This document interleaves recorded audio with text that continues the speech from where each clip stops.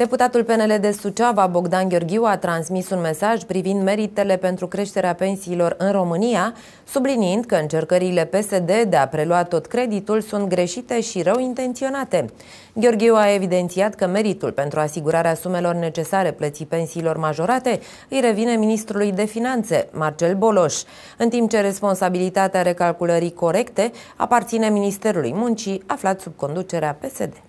Citesc tot felul de creații literare care au scopul de a convinge electoratul că meritul pentru creșterea bunăstării beneficiarilor de pensii din România este exclusiv al PSD. Vă rog să priviți graficul și cifrele, acestea nu pot distorsiona adevărul. Bogdan Gheorghiu a menționat că cifrele nu mint, iar comunicatele PSD încearcă să distragă atenția de la problemele majore în aplicarea legii pensiilor, în special pentru cei care au muncit în condiții speciale, făcând referire la nemulțumirile pensionarilor mineri și ale celor de la CNU Crucea.